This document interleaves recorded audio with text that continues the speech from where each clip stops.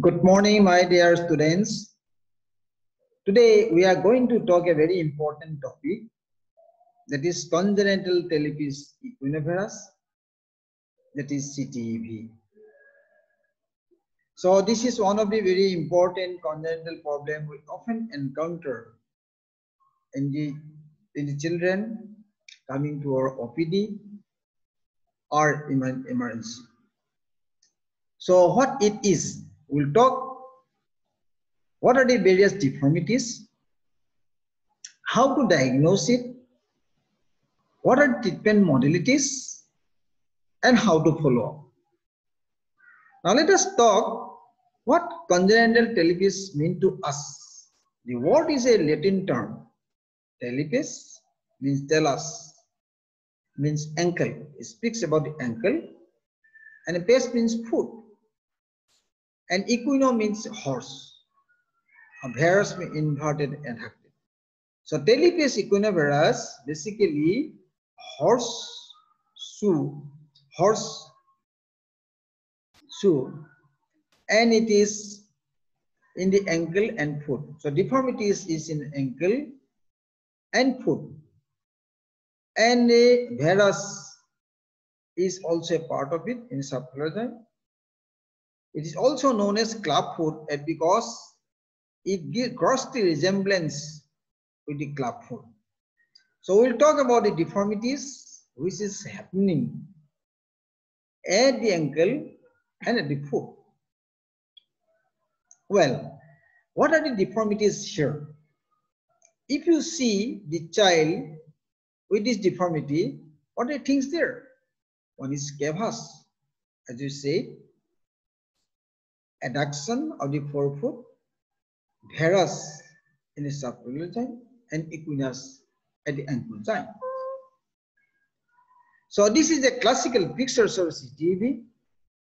We'll find this is equinus, where the foot is, the heel is lying high. This is varus, and this is normally this in the convexity in the outer border concavity in the inner border. The creases are very deep.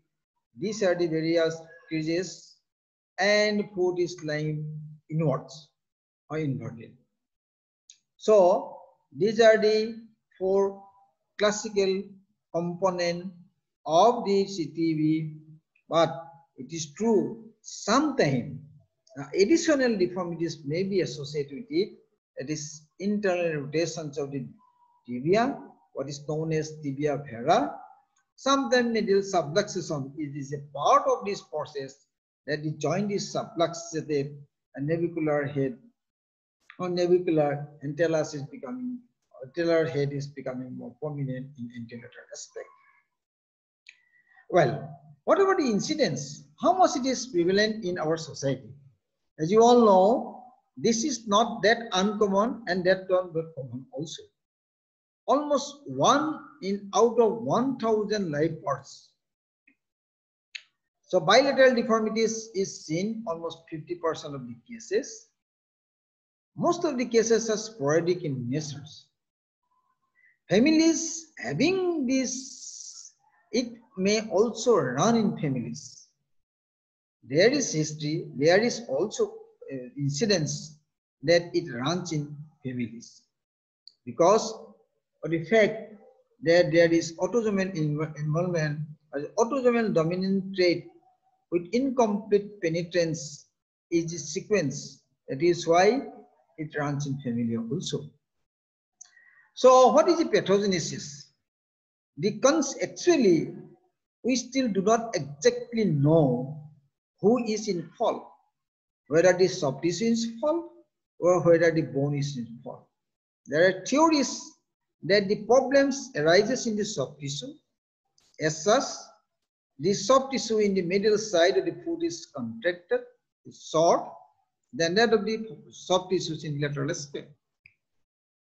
Uh, whether the soft tissue is secondarily involved because of this primary involvement in the bones. So there is a there is yet this point is to be clear. But even then the primary jump plasm defect in the talus. Basically in talus, this is one of the theory. Continued to have the plantar flexions inversions of the talus and subsequent tissue changes are taking place in the musculotendinous junction. This is the theory. Where it speaks that the problem is arising from the bone and subsequently tissue involved. Whereas other theories talks in different way. It says the soft tissue uh, deformities is the primary deformity. That means contractures at the middle side of this foot is primarily involved and secondary changes are taking place in the bone. Now, basically while a child is coming to you in the child in the OPD, a child, uh, the foot clinic, CTB clinic, basically there are two types of your foods are being seen. One is that it is appreciably correctable. That means if you stress it, the foot, then a perceptible uh, range of your corrections is possible. Whereas in other group, it's very difficult to correct. From this clinical entity and the behavior, we can sub-classify on the clinical basis into two groups. One is easily correctable, one is very difficult to correct. So, so we can we can group in two ways. One is supple, another is somehow rigid. There are some score systems which is important for the diagnosis, but more so important for the evaluation, post manipulations of post treatment evaluations. This is called Pirani's scores.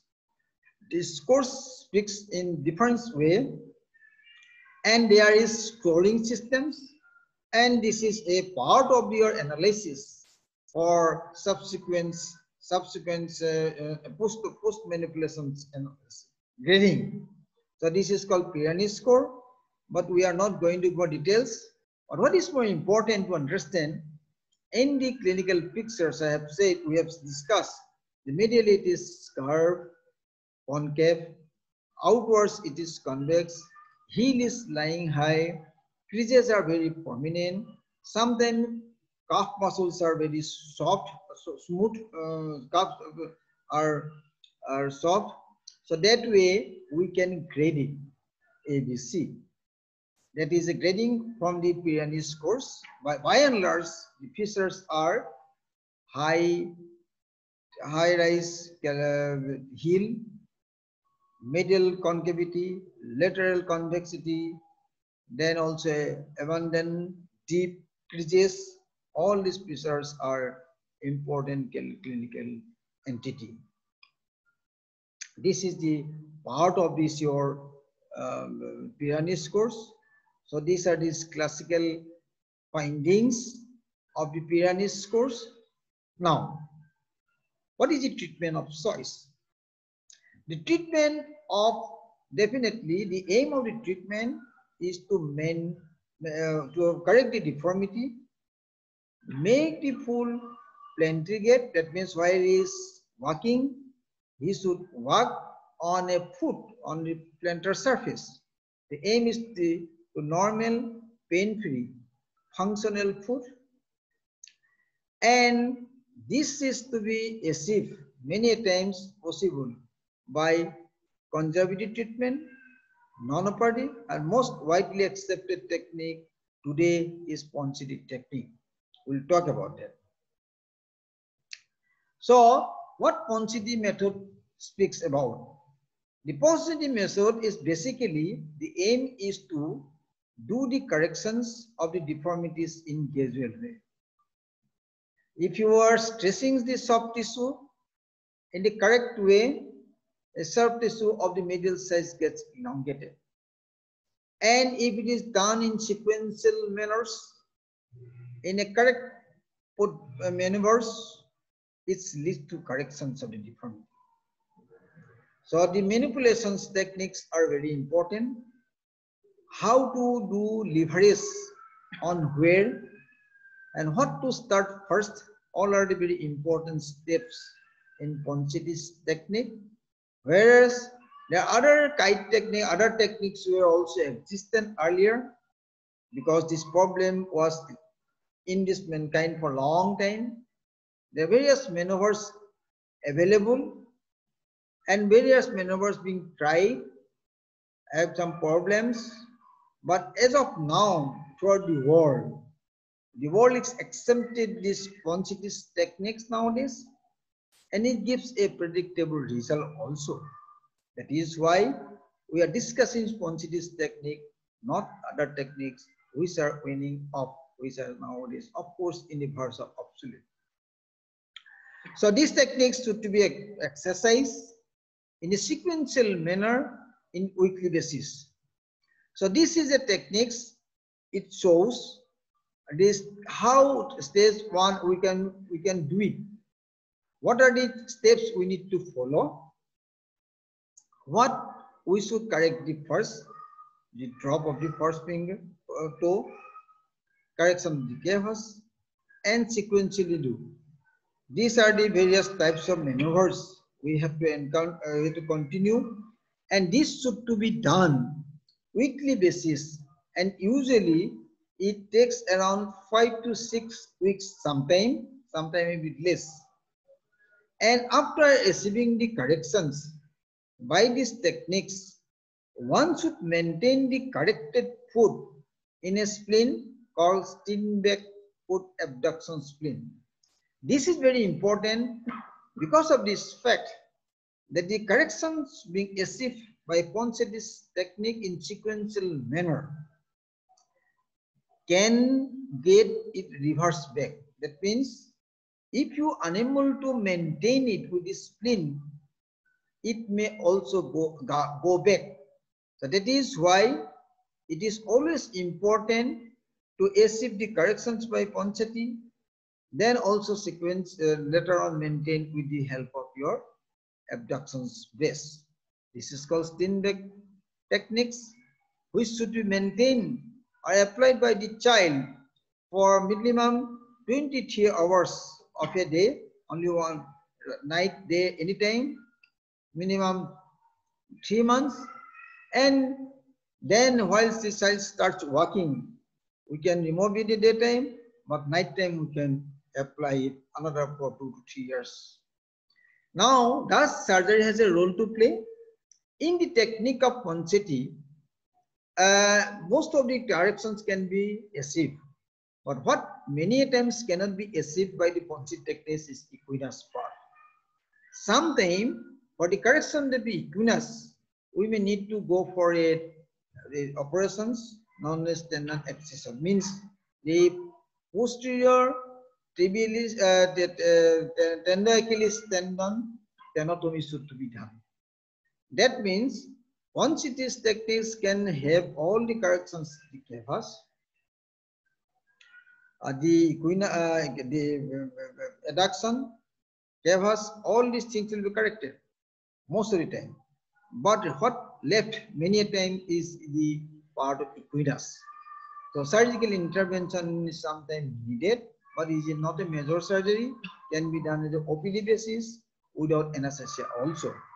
But however, if it fails to achieve this desired result, what left to us is surgical insist, surgical treatment. This surgery is basically, while it fails, we need to do for operations. This is called PM's posteromedial soft tissue release operations posteromedial soft tissue release operations. This operation is basically done to lengthen these contracted structures, the tendoachilles and the medial structures, the tendons, flexor, hallucis longus, flexor longus, tibialis posterior. All these tendons should be elongated, excess. But subsequently, if the patients come late, say around four years, then some other operative treatments is necessary where the only Ponseti technique is not possible, like Dwyer osteotomy in the lateral side cuboid and calcaneal part. Then again, if very late cases, neglected is coming up, then triple arthrodesis are the other choice. But conventionally, the child which is coming within a year before starting walking, this child should always be subjected for the conscious techniques and if it fails to achieve it, then of course surgical treatment is a need. So in nutshell, how will manage a case of your CTB is been discussed. And if you do have any questions, you can you can ask me. Now, this is a, a, a, a phrases from your Gita. Gita is not a book of religion, it is a book of philosophy, and you go through it. Thank you. Thank you very much.